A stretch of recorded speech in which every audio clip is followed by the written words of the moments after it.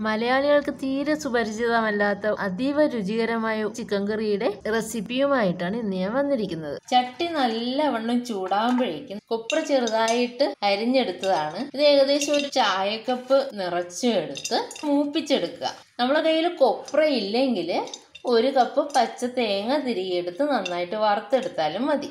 കൊപ്ര നന്നായിട്ട് മൂത്ത് വന്നിട്ടുണ്ട്. നമുക്കിത് ഒരു പാത്രത്തിലേക്ക് മാറ്റി വയ്ക്കാം. അതേ ചട്ടിയിൽ തന്നെ നമുക്ക് ഒന്നര ടീസ്പൂൺ പെരിഞ്ചീരകം ഒരു കഷ്ണം പട്ടയില്ലേ അത് പൊട്ടിച്ചെടുത്തത് രണ്ട് ഏലക്ക നാല് ഗ്രാമ്പു മസാല ഇലയില്ലേ അതൊന്ന് പൊട്ടിച്ച് അതിനകത്തോട്ടിട്ടതിന് ശേഷം ഒരു നാല് പിരിയമുളകില്ലേ അതിട്. ഒരു മൂന്ന് നാല് പച്ചമുളക് ചേർക്കും. അപ്പോൾ അതിന്റെ എരിവനുസരിച്ചിട്ട് വേണം നമ്മൾ ഇതിനകത്തോട്ട് ചുവന്ന മുളക് ഇടാൻ. അപ്പോൾ മുളക് നിങ്ങളുടെ ടേസ്റ്റിന് അനുസരിച്ചിട്ട് വേണം ഇട്ട് വറുക്കാൻ. നിങ്ങളുടെ കയ്യിൽ മുഴുവൻ മുളക് ഇല്ലെങ്കിൽ മുളക് പൊടി ഇട്ടാലും മതി കേട്ടോ. അത് ഇതിന്റെ കൂടെ ഇട്ട് വറുക്കണ്ട. അത് മസാലയൊക്കെ തയ്യാറാക്കുമ്പോൾ പൊടി ഇട്ട് കൊടുത്താൽ മതി. അപ്പോൾ ഇത് നന്നായിട്ട് ഒന്ന് ഒരു ഒന്ന് രണ്ട് മിനിറ്റ് ഒരു ചെറിയ തീയിലൊന്നും വറുത്തതിന് ശേഷം അത് മാറ്റി തണുക്കാൻ വയ്ക്കാം. ചട്ടി തന്നെ ചൂടാകുമ്പോഴേക്കും ഒന്ന് ഒന്നര ടീസ്പൂൺ എണ്ണ ഒഴിക്കാം. മൂന്ന് മീഡിയം സൈസ് സവാള കനം കുറച്ച് നീളത്തിൽ അരിഞ്ഞതാണ്. ഇതിനകത്തോട്ട് ഇട്ടിട്ട് നല്ലവണ്ണം ഫ്രൈ ചെയ്തെടുക്കുക. സവാള ഈ പരുവത്തിന് നല്ല ഫ്രൈ ചെയ്തെടുക്കുക. എന്നിട്ട് തണുക്കാൻ വേണ്ടി വേറൊരു പാത്രത്തിലേക്ക് മാറ്റി വയ്ക്കുക. വറുത്ത് വെച്ച കൊപ്ര മസാല കൂട്ടില്ലേ അതും പിന്നെ വഴറ്റി വെച്ച ഉള്ളിയും ചേർത്ത് മിക്സറിനകത്തിട്ട് വെള്ളം ചേർക്കാതെ നമുക്ക് അരച്ചെടുക്കാം. നമുക്കിതിനെ മാറ്റി വയ്ക്കാം.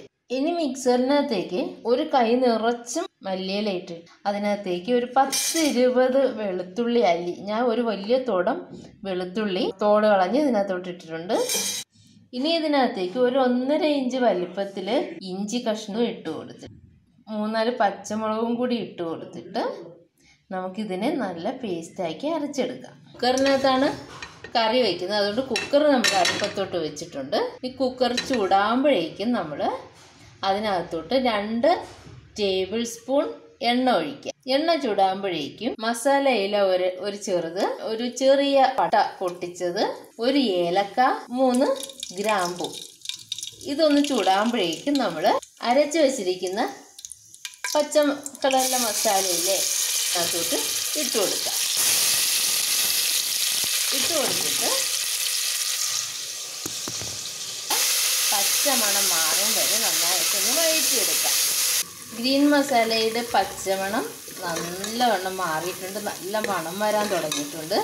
ഇനി നമുക്ക് ഇതിനകത്തോട്ട് ഒരു ടീസ്പൂൺ മഞ്ഞൾപ്പൊടി അര ടീസ്പൂൺ കുരുമുളക് പൊടി ഒരു ടീസ്പൂൺ കാന്ത ലസുൺ മസാല ഇടണേ പക്ഷേ ഇത് ഓപ്ഷണലാണ് കയ്യിലുണ്ടെങ്കിൽ മാത്രം ഇട്ടാൽ മതി.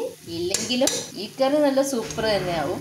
അപ്പോൾ ഈ മസാലകളെല്ലാം കൂടി ഒരു മുപ്പത് സെക്കൻഡോളം ഒന്ന് വഴറ്റി ഒരു മീഡിയം സൈസ് തക്കാളി നല്ലവണ്ണം അരച്ചെടുത്തുകൊണ്ട് വന്നിട്ടുള്ള പേസ്റ്റാണ് ഇതിനകത്ത് ഇട്ടിട്ടതിന് ശേഷം കറിക്ക് ആവശ്യമായ ഉപ്പ് ചേർത്തിട്ട് ടൊമാറ്റോയുടെ പച്ചമണം മാറും വരെ നന്നായിട്ട് വഴറ്റിയെടുക്കുക. ടൊമാറ്റോ ഒക്കെ നന്നായിട്ട് വഴന്നു വന്നിട്ടുണ്ട്. എണ്ണയൊക്കെ തെളിഞ്ഞ് ടൊമാറ്റോയുടെ പച്ചമണമൊക്കെ മാറിയിട്ടുണ്ട്.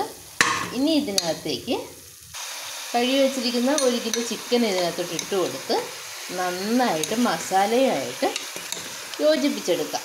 മീഡിയം ഫ്ലെയിമിൽ മസാലയുമായിട്ട് നല്ലവണ്ണം യോജിപ്പിച്ചതിന് ശേഷം കൊപ്ര ഉള്ളി മസാല പേസ്റ്റ് ഇട്ട് കൊടുത്തതിന് ശേഷം ഇതിനകത്തോട്ട് നമുക്ക് കുറച്ച് ചൂടുവെള്ളം ഒഴിച്ചു കൊടുക്കാം.